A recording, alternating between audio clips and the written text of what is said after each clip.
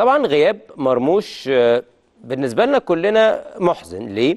مرموش لعيب كبير خبرات كبيرة بيلعب في, ألمانيا آه، في فولفسبرج أمام كان آخر لقاء ليه أمام آه، هونفهايم وجاله إصابة في الدوري الألماني وخرج بعد أول 8 دقائق فده يدل إن الإصابة يعني كانت قوية. طبعا اللقاء كان من يومين ولكن الكشف الطبي والإشاعات والفحوصات ظهر نتيجتها امبارح فقرر مستر آه، روي فيتوريا إن هو يعني ما يغامرش باللاعب أنا مش هغامر باللاعب يكون موجود ولو إصابة بسيطة تتفاقم أو الإصابة قوية تزيد أكتر. هنا أنا بحب المدربين دول.